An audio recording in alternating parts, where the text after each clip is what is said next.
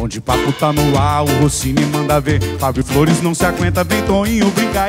E no som CPI Brothers entrevista alto astral. Esse é o Bom de Papo, um programa bem legal. É bom de papo, bom de papo.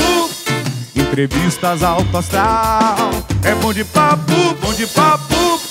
O Rossini bem legal. É bom de papo, bom de papo. E com vocês, Rossini Macedo. Não, mais cedo não, rapaz. É Rossini mais cedo, a partir de agora, 1h10. Cheio de trocadilhos. Cheio é. de piadinha, o moleque. A gente Moleque tá bom, hein? Nesse alto astral, o Bom de Papo tá no ar, logo depois do Ronda Geral, você já sabe. Tem um compromisso comigo, com Fábio Flores. Muito boa tarde, Rossini. Boa tarde, amigos. E sua voz de FM, também Toninho. Sou eu, Bensatil! Deus te abençoe. E CPI Brothers. Isso aí, tamo junto. Um dingo aí do Bom de Papo maravilhoso, composto aí pelos Marcos CP. Também o Tite. Obrigado, Rossini. E o Raimundão. Doni, Doni. Cabeça chata. Raimundão. Já arrumou emprego, Raimundão? Não tem, hoje não tem a hashtag. Tá fazendo muito show, Rossini.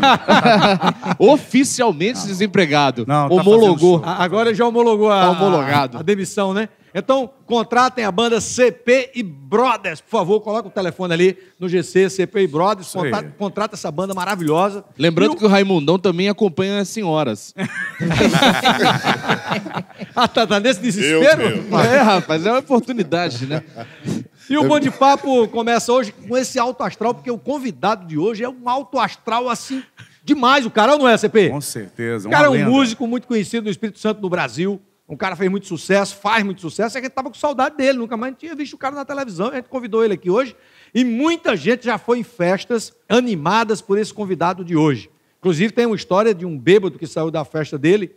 Ele tocou até três da manhã, o bêbado saiu três da manhã, embriagado, e andando, passou um carro da polícia, parou e disse: Ei, rapaz, tá indo para onde? Ele eu, eu estou indo ah, assistir uma, uma palestra. Uma palestra? Que palestra? Ah, ah, Uma, uma palestra sobre os efeitos malíficos do álcool, o que é que ele faz no homem, ah, o que é que ele destrói, como ele destrói uma família, faz com que a família fique sem dinheiro, fique sem, sem nada. Eu- estou indo agora assistir essa palestra. O policial disse, mas peraí, uma palestra, uma hora dessa, três horas da manhã, quem é que vai dar uma palestra dessa? É minha mulher quando eu chegar em casa. Vai dar uma palestra, uma palestra grande. Já assisti muito essa palestra. Então, por isso que eu vou convidar hoje o cara, o showman, Lion. Ando devagar, porque já tive pressa. Leva esse sorriso, porque já chorei demais. Hoje me sinto mais forte, mais feliz, quem sabe? Só levar certeza de que muito pouco eu sei, ou nada sei. Conhecer as manhas e as manhãs, o sabor das massas e das maçãs. É preciso amor para poder pulsar, é preciso paz para poder sorrir, é preciso a chuva para florir. Aê! Saudade do Lion. Vem pra cá, meu irmão, por favor. Tudo Prazer, bem? prazer, Prazerzão. prazer, Rocinho. Tá com você novamente. Ai, que bom. Saudade. Saudade de ver você, cara. Que bom. Essa Atuando, gente, cantando. que bom. A gente Rossini, sempre sabe que eu encontrava. sou muito fã dele desde bem antes dele começar a cantar, né? Na época ele era do Thundercats ainda. Ai, que Ei, bom.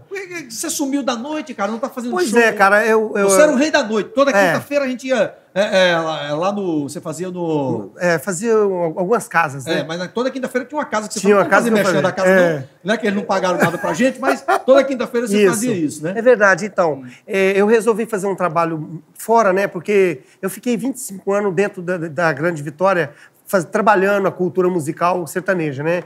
E, e- e essa batalha que- você foi de... um precursor do sertanejo sim, aqui, sim. né? Quando começou essa onda do sertanejo, Exatamente, você, que- exatamente. É, Foi uma coragem muito grande, porque o, o capixaba ele trazia muita coisa do Rio de Janeiro, né? Como o funk, como o, a, o MPB, era muito forte aqui dentro da, Hum. do- da Grande Vitória, né? E o samba carioca. E aí eu vim para dar essa, esse, esse- essa coisa raiz do, do sertanejo. E foi muito bacana. O capixaba recebeu muito bem. Não foi fácil, mas a gente conseguiu. Quanto tempo de carreira, meu irmão? Bom, são uns 30 anos, já tá aí na casa dos 30 já. Mas com muito Então, orgulho. 30 anos de carreira, você começou aí com 5, né? Tá com 35 anos. Exatamente. Muito novinho ainda. Tô ajeitando, eu tô, É, ó, tô só amigo do cara, hein? Tô Já ajeitando dá ele. pra aposentar vendo? por tempo de serviço, hein? Mas muito feliz, o Rocinho, de estar aqui. E realmente o importante para a gente é fazer a boa música, né? levar música com dignidade. E, e o que é re- realmente a música? A gente falar já- de amor, a gente já fez falar de muitos- muitos alegria. shows juntos. Muito, muito. E, e você, um cara assim que eh, tem um astral no palco que é, é, é diferente, realmente é é uma coisa, uma energia diferente que você passa. E você trouxe isso de Minas Gerais, você é mineiro. Eu sou mineiro. Por que, que a maioria dos, dos cantores sertanejos mineiros optam por vir morar do Espírito Santo? É por conta da praia ou é porque aqui realmente é um. Começa Olha, o sucesso daqui? Exatamente. Eu acho assim, para quem não sabe, muitos cantores, né? Eu vou citar dois aí, o Eduardo Costa e o Gustavo Lima, tocavam, tocaram na Praia do Morro, em Guarapari.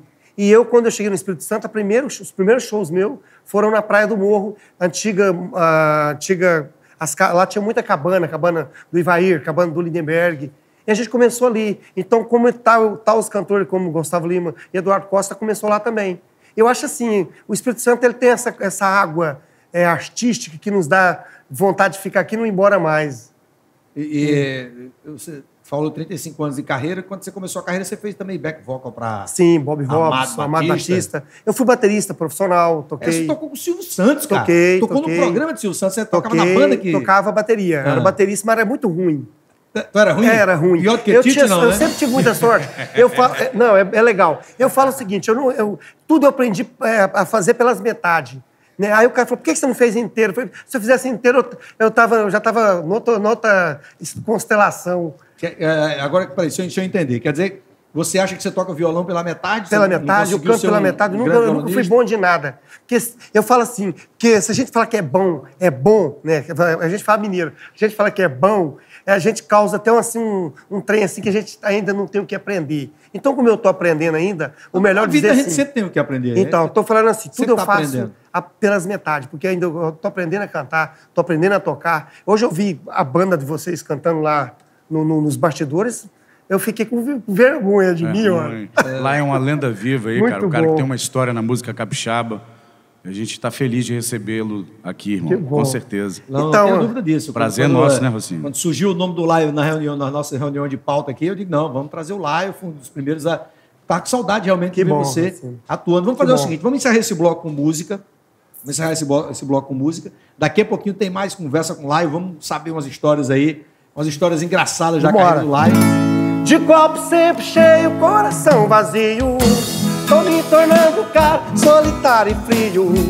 Vai ser difícil me apaixonar de novo. A culpa é sua. Antes embriagado do que iludido. Acreditar no amor já não faz mais sentido. Eu vou curtindo nessa vida bandida. Até você voltar.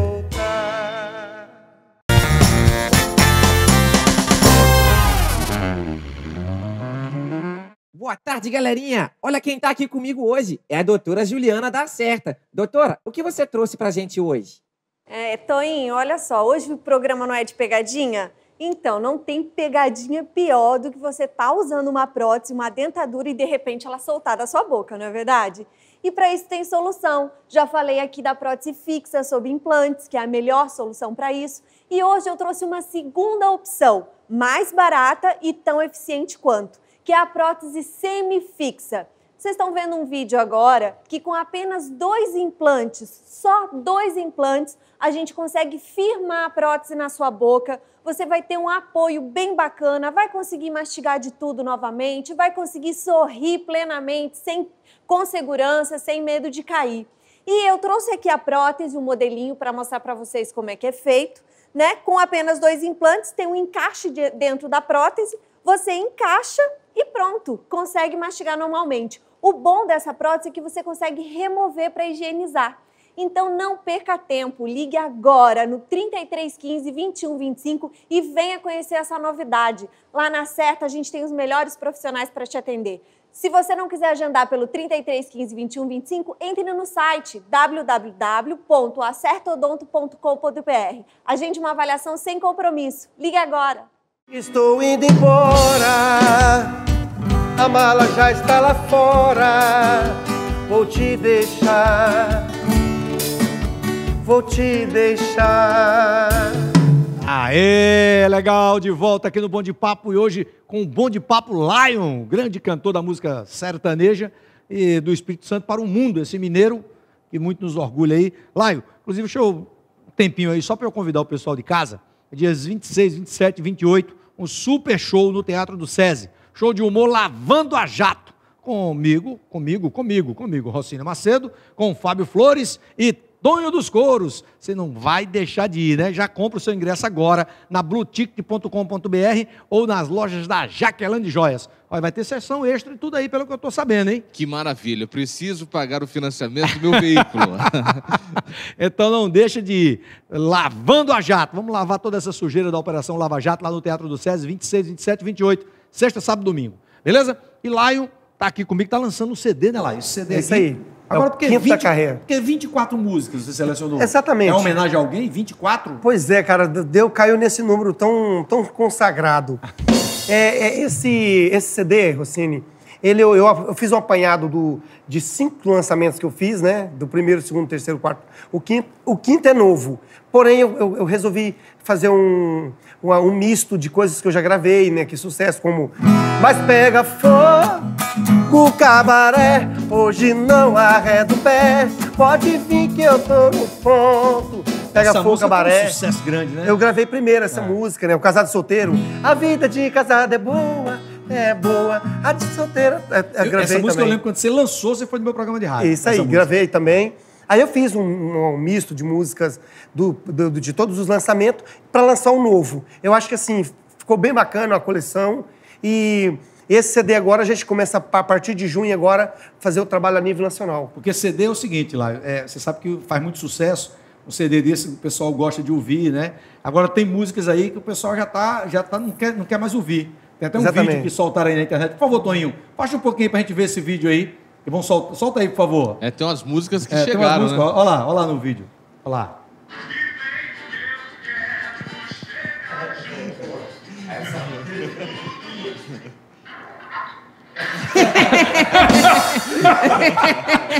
Isso é o maior sucesso dos meninos do CP e Brothers aqui, passando o rodo. Pô, sacanagem. Os caras já mandaram esse vídeo. A semana toda editando. Por isso que ninguém queria abrir a porta lá da sala. né? Só o pessoal da produção que fica aprontando com a banda, com o CP Brothers, que lançou essa música aqui, passando o rodo. A música tá fazendo o maior sucesso. E os caras já estão zoando aí, dizendo que ninguém quer ouvir a música.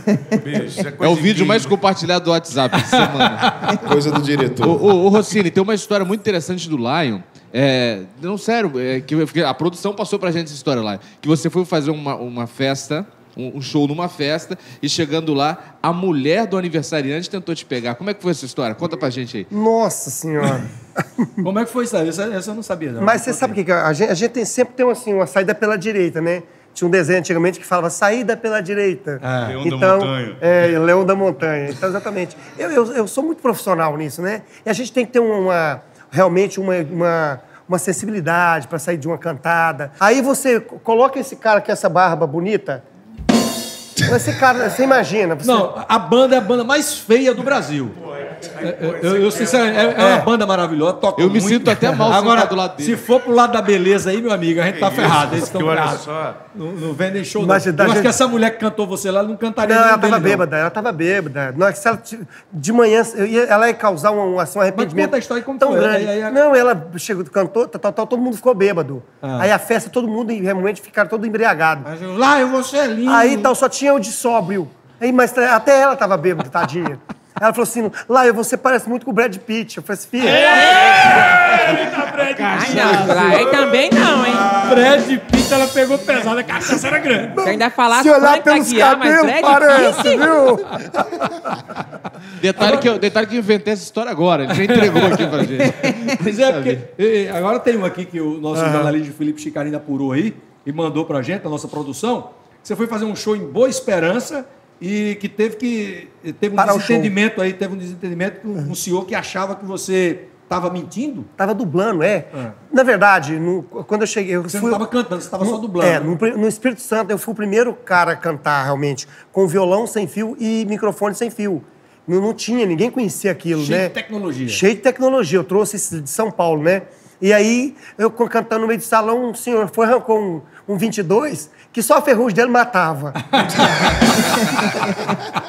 Você tá mentindo, Eu não fiquei, me- ó, juro que eu não fiquei com medo na bala, eu fiquei com medo dele me relar aquilo, eu morrer de tétano.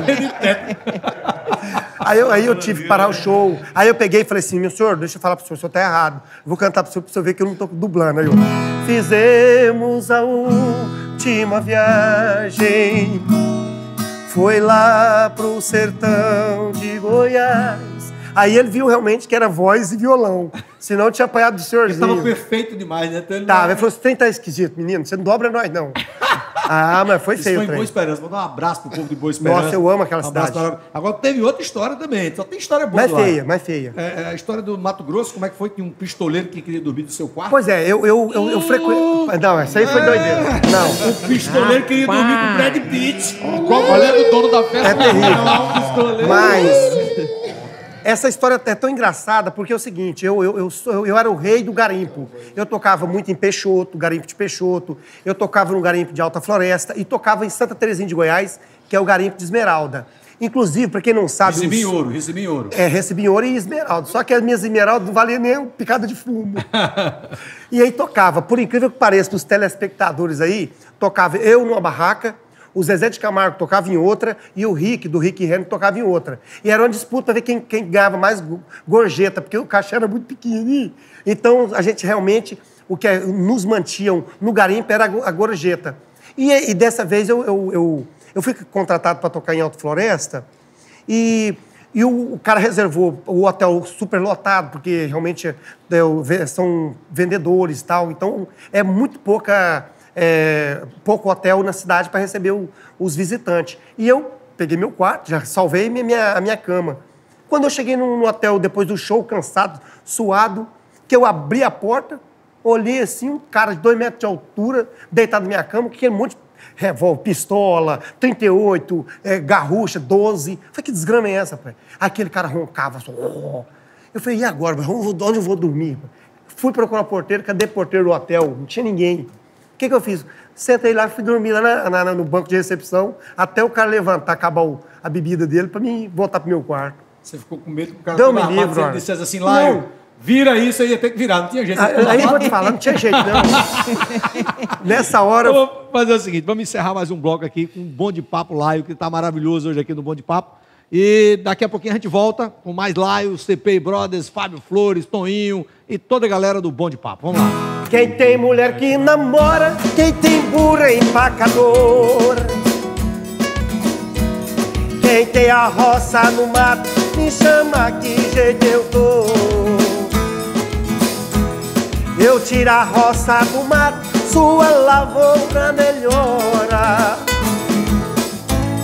Eu burro empacador, eu corto ele fora. E a mulher namoradeira, passa Essa mulher é boa, essa mulher é boa.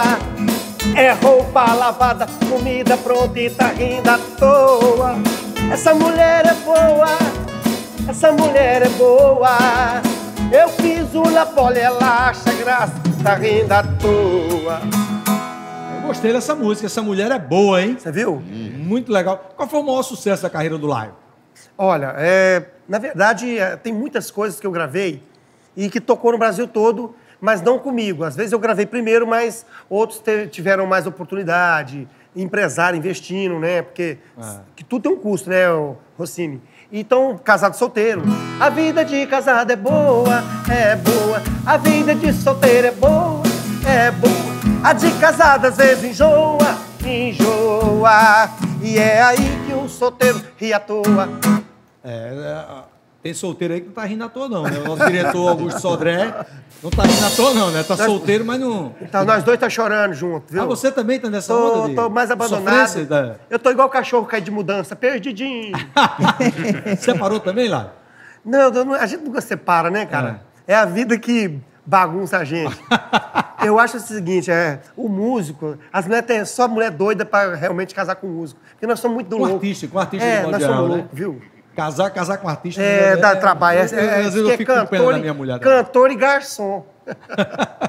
É O verdade. negócio é casar com trocador de ônibus. Uma raça boa, tem plano de saúde. Não, que já foi trocador de ônibus, você sabe. Não, a galera é massa, CP. a galera é massa. Agora, qual, qual é a decepção? Já que a gente falou em coisa triste, assim, qual é a maior decepção da tua carreira? Decepção, cara, eu acho que é a- o rótulo que colocam na música sertaneja pra mim. Vamos separar o jogo do trigo, né? Sertanejo é sertanejo. Né? E música moderna, um pop. Vamos falar que é um pop brega? É mais chique, né? Então você não pode falar que um Luan Santana é sertanejo. Eu tô dando Polêmica, boas, eu sou meio doido, né? é, né? Não vou falar, Polêmica, vamos- vamos Você está honestos. falando que Luan Santana não canta sertanejo, ele canta sofrência. Ele então. canta um. Não, é um pop, um pop, um pop, um. Como vamos lembrar aí de Gerardriane, né? O Gerardriane, é, é, Diana. ah, Não, não, de te esqueça, meu amor, de quem mais. Eu- Só que é diferente. O Luan jamais. É, o Lu- Luan começa com aqueles olhinhos assim. É. né? Entendeu? Felipe Chicarino, né? Tipo Felipe Chicarino. né? Então, entendeu? Então, assim, isso que me deixa triste, porque eu tenho um respeito tão grande pela música. E vamos, vamos, vamos assim, vamos dizer o que é sertanejo. Não, então, é é bacana quando você consegue re- ser real e colocar realmente o que é sertanejo e o que é pop. Então, então, uma pergunta agora estritamente sertaneja. Gostaria de sua opinião, mas é uma opinião sincera, hein? Agora é o momento, seriedade. Qual a sua opinião sobre o decote de Lucas Luco? Eu acho que é um, é um metrosexual que fala, é. Eu sou meio caipira pra esse trem. Baitolagem, né? Vamos usar. Eu, eu- eu sou meio fraco. Boiolagem. Você, você não acha que é isso que está faltando na sua carreira, não? Abrir uns dois bo- botões da camisa? Eu vou te pra- falar, gente, eu, eu vou te falar, eu sou um cara que eu tenho muito músculo. Eu, eu já vi, já vi. Porque é o seguinte, você sabe o que que tá acontecendo? Por que, que eu uso camisa de manga comprida lá em casa?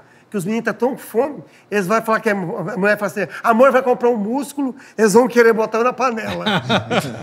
Vamos fazer o seguinte, já que você falou nesse negócio de polêmica aí, de música sertaneja e tal, vamos criar uma polêmica aqui com o Jean Walsh.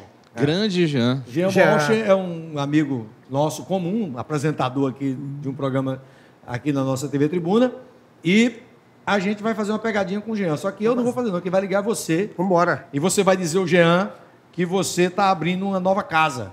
Só que essa casa é a casa das primas. Vambora. E aí, vê, vambora. vê se ele não tem umas primas lá dele para botar na casa. Convida aí o Jean, pá. Vamos ver Deixa se ele comigo, atende. fazer um... Vamos ver se ele atende. É o, é, é o bravo de papo aqui do Bom de Papo, não é isso? Se ele não conseguir nenhuma, você pendia com o pessoalzinho lá de Barcelona, hein? Ó, rapaz, o pessoal tá assistindo lá, vai pensar o quê? ó? Oi. Ei, meu filho, a, li- a- a ligação tá boa? Agora sim, vai, Pedro. É, olha só, deixa eu te falar, Jean, eu tô com um projeto pra mim, pra mim que é sua cara. Aí eu falei Fala assim, eu- o meu, meu parceiro tem que ser Jean. Boa, pô, tamo. Claro. Olha só, tô pensando em fazer um negócio bacana, a gente pode fazer um esquema com o programa. Eu tô pensando em montar uma casa das primas, o que, que você acha? Caso o quê? Casa das primas. Bicho, eu conheço muita mulher, você conhece muita mulher.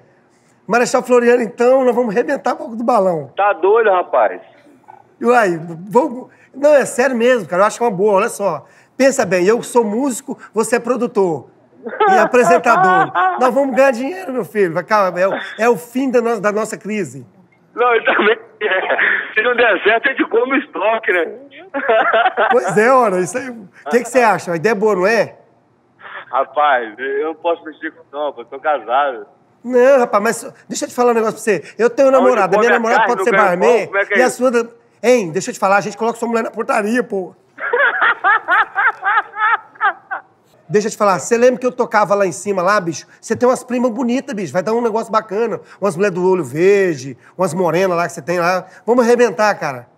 O que, você acha? Não, rapaz, pelo amor de Deus, rapaz. Mexe não negócio Bicho, de deixa eu te é falar. errado. Nós já tentamos de tudo, Jean, não deu certo. Vamos ver o que, que, que a gente faz. Bicho, eu tô. Nesse projeto aí não vai dar pra mim, não. Esse projeto aí não vai dar pra mim, não, meu velho. Cê- Eu, eu acho que você tá com medo da, da Tá, sua mulher, cara. Cê- Não, mas é mesmo dela mesmo, rapaz. Você é tá o com medo da sua mulher? Ah, Você acha que não é não? Ah, vou Jean, para. ah, eu tô- Ela vai te apoiar, Jean, eu tenho certeza. Ela não deixa eu sair de casa por causa de, por causa de prima meu, de mulher. Eu vou falar que vou trabalhar com elas? Ô, Jean! Ô, Jean! Oi. Calma aí, rapaz. Você acabou de cair aqui na pegadinha do Bravo de Papo. É o Rossini, rapaz. O Laio tá ligando pra você pra te sacanear, seu sacana. Você é terrível, meu irmão. Tá com Você medinho, mesmo, né? velho. Agora você Não. provou que você tem medo da mulher mesmo, né, seu sem Quer vergonha? me complicar mesmo, bicho. Eu tenho medo da mulher, vou te falar a verdade. Eu tenho medo da mulher. Agora, pior é o Augusto que apanha das mulheres tudo e as mulheres Ei, meu irmão. Um abraço pra Falou. você. O Laio tá te mandando um abraço Deus, também aqui, tá bom? Dá um abraço nessa turma toda aí. Valeu, meu irmão. Valeu, fica com Deus. Rapaz, Falou, tem tchau, um morre de medo da mulher mesmo lá. Ele, ele ganhou agora 50 mil pontos agora. Ligamos aqui, acabamos de ligar do telefone da Concenter, vivo aqui do nosso bom de papo com o Laio. Que bom. E sacaneou o nosso amigo Jean. Rapaz, e ele, fica- ele no início ele disse, rapaz, você tá doido lá, mexendo com isso, rapaz. Então, que bom. Como se isso fosse droga, né? Exatamente, né? Poxa vida. É muito bacana, cara. A gente bom. sacanear um amigo é muito bom, né? É muito Mas bom. lá, você tem experiência nesse tipo de mercado ou foi só uma brincadeira? Não, não, eu... eu, Ele eu- demorou a aliás, dizer, ele demorou a responder, né? Então. Aqueceu, hein? Conta ou não conta? Eu cheguei a tocar, mas olha, vou te dizer pra vocês, é o ambiente melhor do mundo, tá? É um ambiente muito alegre, é festa. E outra coisa, a gente tá realmente, a gente se sente em casa. Não, é uma festa mesmo. Lá, Muito eu- bom. lá é uma festa. Sim, com certeza, muito bom. Podem me chamar que eu vou, viu, gente? Eu canto em qualquer lugar. Eu sou o único cantor que, eu, aonde você botar o Laio, o Laio é estabelecido. Ô, Não ô, tem Lion, problema. Mas quando você tocou lá na casa das primas, você tocou por cachê ou permuta? Olha, eu, eu, eu toquei pros dois.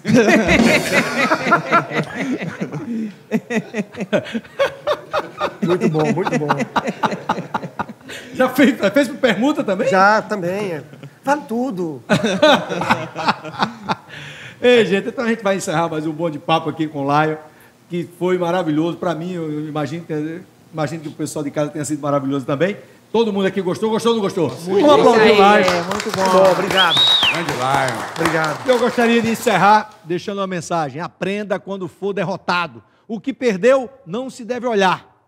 Para não ficar estressado, olhe para o que ainda existe para ganhar. Tá bom? Obrigado. Boa tarde para você. Vamos encerrar o programa com Lion e CP Brothers. Hoje tem show, né? É, tem show amanhã no K1 e domingo no Jurema. Gente, todo mundo convidado. Vamos curtir o show de CP Brothers aí. Prazer total. Valeu, galera. Encontro vocês também lá no Shopping Montserrat com karaokê à la carte. Ah, todo mundo aqui é artista. De que me adianta viver na cidade se a felicidade não me acompanhar? Adeus, Paulistinha, do meu coração, lá pro meu sertão eu quero voltar. Ver a madrugada, quando a passarada fazendo alvorada, começar a cantar com satisfação. Arreio o burrão, cortando o estradão, sai a galopar e vou escutando o gado berrando, sabia cantando no bar.